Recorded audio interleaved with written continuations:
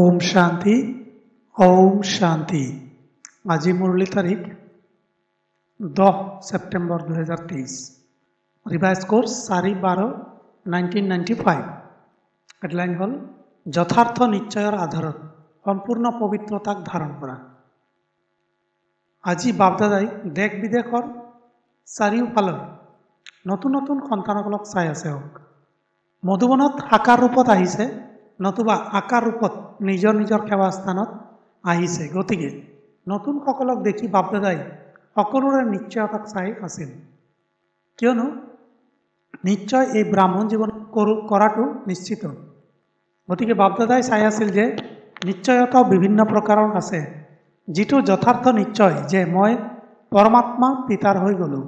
নিজকো আত্মাস্বৰূপত জনা, মানি লোৱা আৰু চলা আৰু পিতাকো যি হয় তেনেকৈয়ে জনা। এয়া হ'ল যথাৰ্থ নিশ্চয়। দ্বিতীয় নিশ্চয়তা হ'ল যুগৰ দ্বাৰা অলপ সময়ৰ বাবে অশান্তিৰ পৰা শান্তিৰ অনুভৱ কৰা আৰু স্থানৰ শক্তিশালী শান্ত বায়ুমণ্ডলে আকৰ্ষিত কৰে বা ব্ৰাহ্মণ পৰিয়াল ব্ৰাহ্মণ আত্মাসকলৰ আত্মিক স্নেহ আৰু পবিত্ৰতাৰ জীৱনৰ প্ৰভাৱ পৰে। সংগ ভাল লাগে। জগতৰ বায়ুমণ্ডলৰ বিপৰীতে এই সংগ ভাল লাগে। জ্ঞানো ভাল পৰিয়ালো ভাল বায়ুমণ্ডলো ভাল। তেন্তে সেয়া ভাল লগা সেই আধাৰৰ আধাৰতে চলি থাকে। সেয়া হ'ল দ্বিতীয় নম্বৰ। প্ৰথম নম্বৰ শুনালোঁ যথাৰ্থ নিশ্চয়। আৰু দ্বিতীয় নম্বৰ ভাল লাগে। আৰু তৃতীয় নম্বৰ জগতৰ সম্বন্ধীয়সকলৰ সুখময় বাতাৱৰণৰ পৰা হাত সাৰি যিমান সময় সেৱা কেন্দ্ৰলৈ আহে সিমান সময় দুখৰ পৰা একাষৰীয়া হৈ শান্তিৰ অনুভৱ কৰে। দেখা যায় যে যেতিয়া প্ৰথমে আহে, তেতিয়া অশান্তিত অতিষ্ঠ হৈ থাকে, শান্তিৰ ইচ্ছুক হয়। গতিকে যেনেকৈ তৃষ্ণাটোৰে এটি টোপালো যদি পানী প্ৰাপ্ত কৰে, তেন্তে সেয়া তেওঁৰ বহুত ডাঙৰ কথা বুলি অনুভৱ কৰে। গতিকে অপ্ৰাপ্তিৰ পৰা প্ৰাপ্তি হয়। পৰিয়ালত জ্ঞানত যুগত বায়ুমণ্ডলত পাৰ্থক্য দেখা যায়। গতিকে প্ৰাৰম্ভিক কালত জ্ঞানত বহুত ভালো উৎসাহ উদ্দীপনাৰে চলে, বহুত নিচা থাকে। আনন্দিত হৈও থাকে। কিন্তু যদি প্ৰথম নম্বৰৰ যথাৰ্থ নিশ্চয়ৰ আধাৰ দৃঢ় নহয় দ্বিতীয় বা তৃতীয় নম্বৰৰ নিশ্চয়তা আছে তেন্তে আৰম্ভণিৰ যি আনন্দ আৰম্ভণিৰ যি নিচা তাত পাৰ্থক্য আহি যায়। এইটো ছিজনত নতুন বহুত আহিছে আৰু সুযোগো পাইছে এয়াতো বহুত ভাল। বাপদাদাও নতুন নতুন সন্তানসকলক দেখি আনন্দিত হয় যে এওঁলোকে আকৌ নিজৰ পৰিয়ালত আহি উপস্থিত হ'ল। কিন্তু এইটো পৰীক্ষা কৰা যে নিশ্চয়তাৰ আধাৰ। দৃঢ় হয়নে? মোৰ নিশ্চয় এক নম্বৰ নে দুই নম্বৰ? যদি এক নম্বৰৰ নিশ্চয়তা আছে তেন্তে আগবাৰ নালাগিব।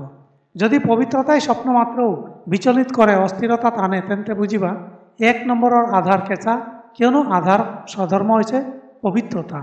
অপবিত্ৰতা পৰধৰ্ম আৰু পবিত্ৰতা স্বধৰ্ম। গতিকে যিহেতু স্বধৰ্মৰ নিশ্চয়তা হৈ গ'ল, তেন্তে পৰধৰ্মই বিচলিত কৰিব নোৱাৰে। বহুত সন্তানে কয় যে প্ৰথমেতো বহুত ভালো লাগিছিল, ভালো আহিছিল।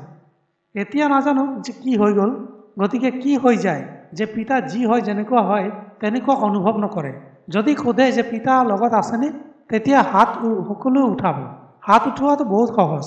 কিন্তু যদি পিতা লগত আছে, তেন্তে পিতাৰ প্ৰথম মহিমা কৰা যে তেওঁ সৰ্বশক্তিমান। এয়া মানি লোৱানে নে কেৱল জানা? গতিকে যিহেতু সৰ্বশক্তিমান পিতা লগত আছে, তেন্তে সৰ্বশক্তিমানৰ সন্মুখত অপবিত্ৰতা আহিব পাৰেনে আহিব নোৱাৰে। কিন্তু আহে নহয়। তেন্তে আকৌ আহে ক'ৰ পৰা? কিবা অন্য স্থান আছে নেকি? যি চোৱা হয় তেওঁলোকে নিজৰ বিশেষ দুৱাৰ বনাই লয়। চোৰৰ দুৱাৰ থাকে। গতিকে তোমালোকৰ লগতো লুকাই থকা চোৰৰ দুৱাৰটো নাই। পৰীক্ষা কৰা নহ'লে মায়া আহিলে ক'ৰ পৰা? ওপৰৰ পৰা আহি গ'ল নেকি? যদি ওপৰৰ পৰাও আহি গ'ল তেন্তে ওপৰতে সমাপ্ত হ'ব লাগে। কোনো আহে যে তোমালোকে গম নোপোৱা, গতিকে পৰীক্ষা কৰা যে মায়াই কোনো চোৰৰ দুৱাৰটো সাজি থোৱা নাই। আৰু দুৱাৰ সাজেও কেনেকৈ? গম পোৱা নে? তোমালোকৰ যি বিশেষ স্বভাৱ বা সংস্কাৰ দুৰ্বল হ'ব, তাতেই মায়াই নিজৰ দুৱাৰ সাজি লয়। কিয়নো যেতিয়া কোনো স্বভাৱ বা সংস্কাৰ দুৰ্বল হয়, তেতিয়া তোমালোকে যিমানেই দুৱাৰ বন্ধ নকৰা, কিন্তু দুৰ্বল দুৱাৰ গতিকে মায়াটো সৰ্বজ্ঞ হয়। তাই গম পাই যায় যে এইখন দুৱাৰ দুৰ্বল। ইয়াৰ পৰা ৰাস্তা পোৱা যাব আৰু পায়ো যায়। আগবাঢ়ি গৈ থাকোঁতে অপবিত্ৰতাৰ সংক্ৰম সংকল্পও আহে বাণীও উচ্চাৰিত হয় কৰ্মও হৈ যায়। গতিকে দুৱাৰ খোলা আছে নহয় সেইবাবেতো মায়া আহিল। তেন্তে সংগত কেনেকৈ থাকিলা? কওঁতেতো কোৱা যে সৰ্বশক্তিমান লগত আছে। তেন্তে এই দুৰ্বলতা আকৌ ক'ৰ পৰা আহিল? দুৰ্বলতা থাকিব পাৰেনে? নোৱাৰে নহয়। কিন্তু কিয় থাকি যায়? পবিত্ৰতাৰ ক্ষেত্ৰত যি বিকাৰেই নহওক ধৰি লোৱা লোভ আছে লোভ কেৱল খোৱা বোৱাৰে নাথাকে। বহুতে ভাবে মোৰ পিন্ধা খোৱা বা থকাৰ এনেকুৱা কোনো আকৰ্ষণ নাই। যি পোৱা যায় কৰিবলৈ পূৰা পুৰুষাৰ্থ কৰে। ধৰি লোৱা বিদ্যাৰ্থী হয় বহুত ভাল নিচয় বুদ্ধিৰ। সেৱাদাৰী হয় সকলোতকৈ ভাল। কিন্তু যেতিয়া আগবাঢ়ে তেতিয়া এই মাৰ্জিত জাগ্ৰত হয় যে মই ইমানখিনি কৰোঁ সকলো প্ৰকাৰে সহায়কাৰী হওঁ। শৰীৰেৰে মনেৰে ধনেৰে আৰু যি সময়ত প্ৰয়োজন কয় সেই সময়ত সেৱাত উপস্থিত হৈ যাওঁ।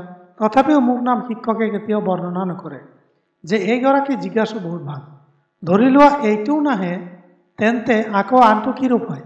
বাৰু নাম যেনিবা ল'লেও কিন্তু শুনি শুনি ময়ে অঁ ময়ে কৰোঁ ময়ে কৰিব পাৰোঁ সেয়া অভিমানৰ ৰূপত আহি যাব বা বহুত কাম কৰি আহিলা আৰু কোনেও নুসুধিলেই পানী এগিলাচো নিদিলে নাচালেই নিজৰ বিশ্ৰামত বা নিজৰ কামত ব্যস্ত হৈ থাকিল। তেতিয়া মনলৈ এইটোও আহে যে কৰিবও লাগে আৰু কোনেও নুসুধেও। তেন্তে কৰিবই কিয় লাগে? কৰা বা নকৰা একে কথা। খবৰ লওঁতাটো কোনো নাই। তাতকৈতো আৰামত ঘৰত বহি থাকোঁ। যেতিয়া হ'ব তেতিয়া সেৱা এইবোধ এইটো বোধ আহি গ'লে তেন্তে য'ত এটা বিকাৰ থাকে তাত তাৰ অনেক সংগী গুপ্ত ৰূপত থাকে। আৰু এটাক তোমালোকে সুযোগ দি দিলা তেন্তে সেই লুকাই থকা যি আছে সেইবোৰেও সময় অনুসৰি নিজৰ সুযোগ লৈ লয়। তেতিয়া কয় যে আগৰ দৰে নিচা এতিয়া নাই। প্ৰথমে বহুত ভাল আছিল প্ৰথমে অৱস্থা বহুত ভাল আছিল। এতিয়া নাজানো কি হৈ গ'ল। মায়া চোৰৰ দুৱাৰেৰে আহি গ'ল। এইটো গম পোৱা নে? এনেকৈ নকবা যে গম নাপাওঁ। আৰু শিক্ষকৰো আহে। শিক্ষকক কি লাগে? সেৱা কেন্দ্ৰ ভাল হওক। কাপোৰ যেনেকুৱাই নহওক কিন্তু সেৱা কেন্দ্ৰ অলপ থাকিব পৰা ধৰণে ভাল হ'ব লাগে। আৰু যি সংগী তেওঁলোক ভাল হওক বিদ্যাৰ্থী ভাল হওক বাবাৰ ভাণ্ডাৰী ভাল হওক যদি ভাল বিদ্যাৰ্থী সলনি হৈ যায় তেন্তে অন্তৰ অলপ কপে। তেতিয়া ভাবে যে কি কৰোঁ? তেওঁ সহায়কাৰী আছিল নহয়। এতিয়া তেওঁ গুচি গ'ল। সহায়কাৰী জিজ্ঞাসু আছিল নে পিতা? তেতিয়া সেই সময়ত কাক দেখা যায়? জিজ্ঞাসু মই অতি কমেও এবাৰ আবুৰ সন্মিলন বা কিবা ডাঙৰ সন্মিলনত সুযোগ ল'ব পাব লাগে। বাৰু আৰু নালাগে যোগ শিবিৰটো কৰিবলৈ দিয়ক। এইটোও সুযোগ পাব লাগে নহয়। বাৰু ভাষণ নিদিওঁ মঞ্চলৈ নাযাওঁ মঞ্চলৈতো যাওঁ। অৱশেষত বিনাশ হৈ যাব। বিনাশলৈকে আমাৰ নম্বৰ নাহিব নেকি? নম্বৰটো আহিব লাগে নহয়।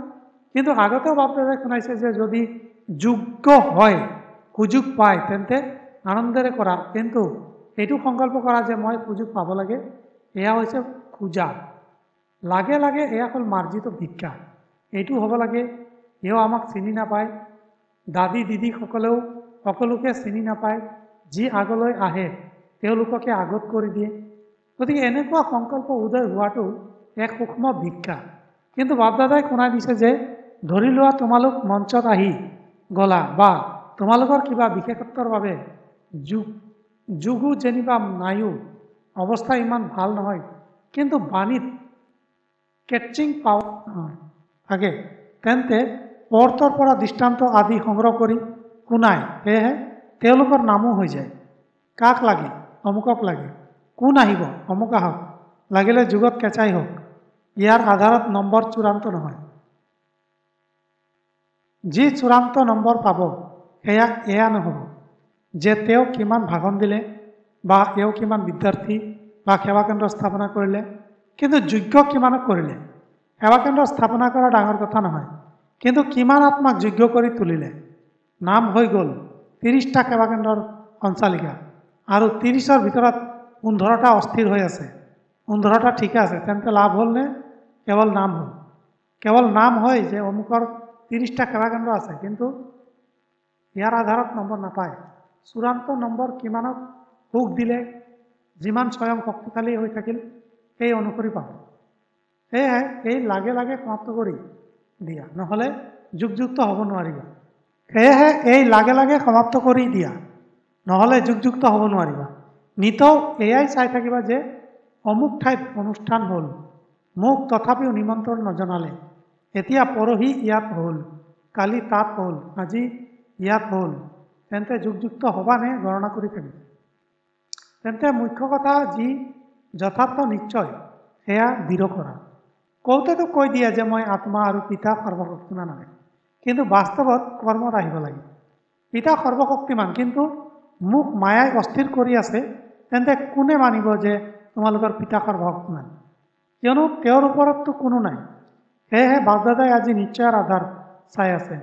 নতুনেই হওক বা পুৰণেই হওক এই নিশ্চয়ৰ আধাৰক বাস্তৱত আনা আৰু সময়ত ব্যৱহাৰ কৰা। সময় পাৰ হৈ যায় আৰু পিতাৰ সন্মুখত পশ্চাতাপৰ ৰূপত আহা। কি কৰোঁ বাবা? হৈ গ'ল আপুনিতো দয়াশীল দয়া কৰক। তেন্তে এয়া কি হ'ল? এয়া মাৰ্জিত ৰূপৰ পশ্চাতাপ। লগত আছে তেন বিজয়ী। যদি কিবা হিচাপ নিকাচ আহেও তেন্তে মন অস্থিৰ নকৰিবা। স্থিতি তলপৰ নকৰিবা। বাৰু আহিল আৰু ততালিকে তাক দূৰৰ পৰাই শেষ কৰি দিয়া। এতিয়া যোদ্ধা নহ'বা। বহুত এতিয়াও নিৰন্তৰ যোগী। নাই। কিছু সময় ভোগ যোগী আৰু কিছু সময় যুদ্ধ কৰোঁতা যোদ্ধা। কিন্তু নিজক কি বুলি কোৱা? যোদ্ধা নে যোগী? কওঁতেতো সহজ যোগী বুলি কোৱা। গতিকে যিসকল নতুন আহিছে তেওঁলোকক বাপদাদাই আকৌ ভাগ্যপ্ৰাপ্ত কৰাৰ অভিনন্দন জনায়। কিন্তু অভিনন্দন লগতে এইটো পৰীক্ষাও কৰিবা যে আধাৰ এক নম্বৰৰ নে দুই নম্বৰৰ। বহুতে কয় জ্ঞান যোগ বহুত ভাল লাগে। বাৰু সেয়াটো ঠিকে আছে কিন্তু কৰ্মত আনানে? জ্ঞান মানে আত্মা পৰমাত্মাৰ ড্ৰামা এনেকৈ কোৱা নহয়। জ্ঞানৰ অৰ্থ হ'ল বুধ। বুদ্ধি মানে এনেকৈ যেনেকুৱা সময় তেনেকুৱা বুদ্ধিমত্তাৰে সফল হয়। চোৱা জীৱনত দুখ আহিলে তেতিয়া কি ভাবা? গম নাপাওঁ মই এইটো কিয় বুজি নাপালোঁ? এনেকৈয়ে ক'বা কিন্তু তেন্তে বুদ্ধিমান হোৱানে? জ্ঞানী হোৱানে? কাক কোৱা হয়নে? হয়। হয় বুলিতো বহুত ভালকৈ কোৱা। বুদ্ধিমানৰ লক্ষণ হ'ল কেতিয়াও প্ৰবঞ্চিত নোহোৱা। এয়া হ'ল জ্ঞানীৰ লক্ষণ। পৰিষ্কাৰো আৰু স্বচ্ছও। যোগীয়ে কেতিয়া গম নাপাওঁ বুলি নকৰোঁ তেওঁৰ বুদ্ধি সদায় স্বচ্ছ। আৰু ধাৰণা স্বৰূপৰ লক্ষণ হ'ল সদায় নিজেও ডাবল লাইট যিমানেই দায়িত্ব নাথাকক কিন্তু ধাৰণামুক্ত সদায় ডাবল লাইট মেলাই হওক বা জঞ্জালেই হওক, দুয়োটাতে ডাবল লাইট আৰু সেৱাদাৰী লক্ষণ হ'ল সদায় নিমিত্ত আৰু নম্ৰ ভাৱ। গতিকে এই সকলো নিজৰ মাজত পৰীক্ষা কৰা। কওঁতেতো সকলোৱে কৰাক যে চাৰিওটা বিষয়ৰে ঈশ্বৰীয় বিদ্যাৰ্থী তেন্তে লক্ষণ দেখা দিয়া উচিত তেন্তে নতুনসকলে কি কৰিবা নিজৰ নিশ্চয়ক আৰু দৃঢ় কৰিবা নহ'লে আকৌ কি হয় দুবছৰ চলিবা তিনি বছৰ চলিবা তাৰপাছত আকৌ পুৰণি জগতলৈ গুচি যাবা আৰু আকৌ যিসকল উভতি যায় তেওঁলোক সেইখন জগততো খাপ খাব নোৱাৰে এইখন জগতৰ হৈ নাথাকে আৰু সেইখন জগতৰ হৈ নাথাকে সেয়েহে নিজৰ আধাৰ বহুত দৃঢ় কৰা অনুভৱ কৰা সৰ্বশক্তিমান পিতা লগত আছে। বাছ যদি এটা কথা অনুভৱ কৰা তেন্তে সকলোতে উত্তীৰ্ণ হৈ যাবা। চোৱা আজিকালি প্ৰধানমন্ত্ৰী আছে মন্ত্ৰী আছে তেওঁলোকৰ সান্নিধ্যাৰো নিচা থাকে নহয়। তেওঁতো সৰ্বশক্তিমান হয়। ভাল বাৰু আজি। বাৰু চাৰিওফালে সদায় জঞ্জালমুক্ত আৰু পৰমাত্ম মিলন মেলা উদযাপন কৰোঁতা সকলো সন্তানক বাউদাৰ স্নেহপূৰ্ণ স্মৰণ আৰু নমস্কাৰ। এনেকুৱা বনাওঁতা বাউদাদাকো আমাৰ স্নেহপূৰ্ণ স্মৰণ আৰু নমস্কাৰ নমস্কাৰ নমস্কাৰ। আৰু ডবল বিদেশীসকল ডবল নিচা আছে নহয়।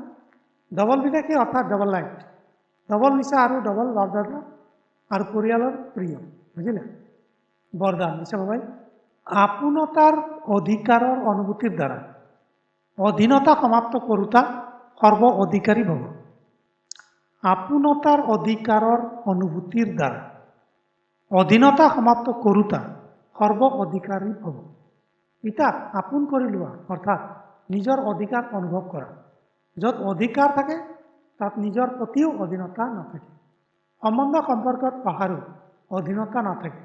প্ৰকৃতি আৰু পৰিস্থিতিত অহাৰো অধীনতা নাথাকে। যেতিয়া এই সকলো প্ৰকাৰৰ অধীনতা সমাপ্ত হৈ যায় তেতিয়া সৰ্ব অধিকাৰী হৈ যায় আৰু জানি আপোন কৰি ল'লে তেওঁৱেই মহান আৰু অধিকাৰী হয়।